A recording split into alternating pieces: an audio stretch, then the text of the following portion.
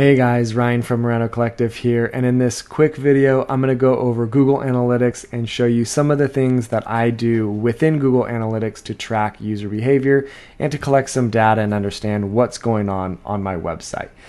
Before we jump in, I do want to say that Google Analytics is a massive um, you know program, and there's so much that you can do, and it can get overwhelming at uh, at points. Um, but I've kind of figured out what works for me, and I'm going to share that with you. Um, and so if you follow uh, you know this video and do what I do, you'll actually be able to get some valuable information for the users on your website and then be able to make some decisions based off of the information. So again, the reason that I use Google Analytics um, a lot of times is to judge the user's behavior and make decisions for design and for content uh, based off of user data. So that'll make a little bit more sense once we kind of look into the data. Um, the home page is pretty uh, standard and um, obviously you can kind of understand what's going on pretty easily. Uh, in this first box here, we have users and sessions. These are just people that are visiting your website, and these are the amount of sessions that these users have created. Uh, bounce rate is how many, the percentage of uh, people that are just leaving your website without clicking around. Now, again, this bounce rate here, you can see mine is pretty high, and a lot of people's are pretty high because it's an overall site bounce rate. I actually prefer to look at bounce rate um, on a individual page level. Um, and the same with the session duration. Session duration is just how long people are spending on your website, and this is an average of every single page on my website. I like, again, I like to look at the session duration uh, for individual pages, and I'll actually show you how you can do that um, down below. A uh, little quick tip is you can toggle, um, you know, how many days of data you want to see uh, by just clicking this little button here. Um, okay, so we're scrolling down again. You can take a look at all this. This is just how you're acquiring users, where your users are, uh, and when your users visit. Fun stuff you can kind of study. Um, but this here uh, you know the pages that your users are visiting and the top devices that your users are using um, are very important um, aspects of Google Analytics that I'm going to talk about here uh, for a second. So, starting with the top devices, you want to make sure that you understand what devices your users are using on your website because you need to make sure that you are looking at the design of your website and the content of your website on those devices. So if your mobile is very high, with a lot of your guys' websites, mobile will be higher than desktop um, because you're creatives and you guys have portfolios and you're showing your work, and a lot of people are finding you through Instagram. So then they're visiting your website through a mobile device. With that said, if your mobile percentage is really high. Make sure that everything you do when you design your website is designed mobile first because that's what people are going to be looking at the majority. A lot of people design their website desktop first and then they kind of, you know, shuffle the mobile around and they go, well, my desktop website is amazing. But according to this, uh, you know, most people aren't looking at your desktop, they're looking at your mobile. However, mine is a little bit different. You can see that my desktop is 74%, my mobile is only 25.6%, and that's because I have a lot of how-to tutorials on my blog, and so a lot of people do opt in to watch these tutorials um, on their desktop. A lot of them are at work and they're ready to work on their website, and so they open up my website and go to my blog on their desktop. So it's a good idea to kind of just get familiar with the top devices. And again, you can toggle this to 90 days and you can see this changes just a little bit, but overall, most people visit my website on desktop um, and then only about 26 25 to 26% of the uh, users are on mobile devices. I still focus heavily on mobile design as well, just because I want to make it very easy for my users on a mobile device to navigate my website. Um, but if this number was any higher, it would be mobile first design, hands down for sure. Um, and then tablet, um, usually when I look at people's accounts, tablets usually under 2%. So it's nothing that you have to really uh, worry about.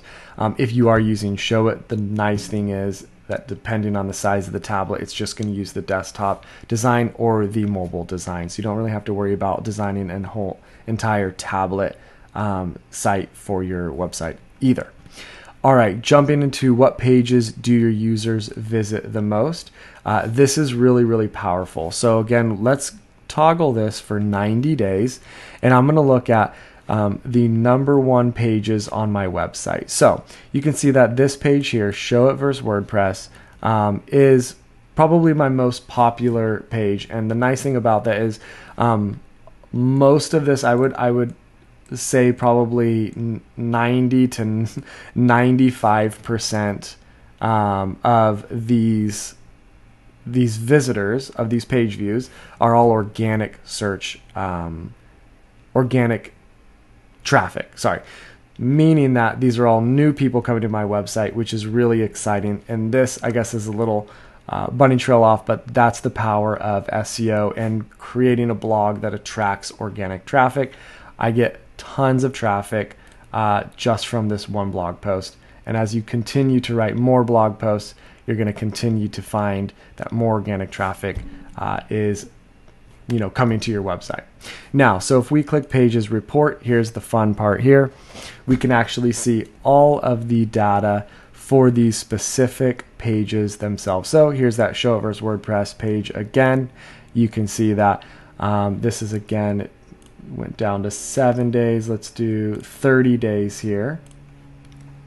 Uh, in the last 30 days, I've had 372 page views for this, uh, you know, this page alone, um, and 334 unique page views. Uh, the average time on page is three minutes and 44 seconds, uh, which is pretty good. So that tells me that people aren't just sitting on the page and then leaving after 15 seconds. They're actually taking the time to read through the blog posts um, and uh, you know get the information that they want. Now, with that said, this is a blog post. So, with blog posts, it's very, very likely that people will bounce out of the uh, blog post once they're done. Um, I've checked, you know, a ton of different uh, users' accounts, uh, some of my clients. Um, and the thing that I find is that blog posts in general have a higher bounce rate, and that's not necessarily a bad thing. And let me explain why. If you have a high average time on page, so I would say over two to th- over three minutes is a great average time um, on page. Uh, if it has a high bounce rate, it's still okay. It just means that people are getting the information that they need and then they're leaving. Now, if you have a page that only has, you know, 15 seconds average time on page and an 80 to 90% bounce rate, then you know that the content on that page is not good enough for most of the users, um, and you need to update the content uh, so with that said, low average time on page and high bounce rate is usually a sign that you need to update the content or update the design. But a high average time on page um, is always a good thing, regardless if the bounce rate is high or low. Um, so I would uh, encourage you guys to jump into this, uh, you know, pages report here. Check out your top pages.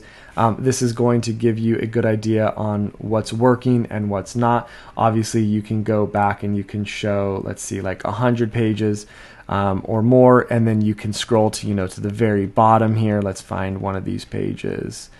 Uh, you know, something like this, slugs and permalinks. I don't get a lot of traffic for that. So that's something that I can actually go through and work on updating the information on this blog post so that the average time on page increases and that the bounce rate decreases. Uh, so hopefully this has given you some value. Um, if you guys have any other questions about Google Analytics, please reach out and we'll talk soon. All right, bye.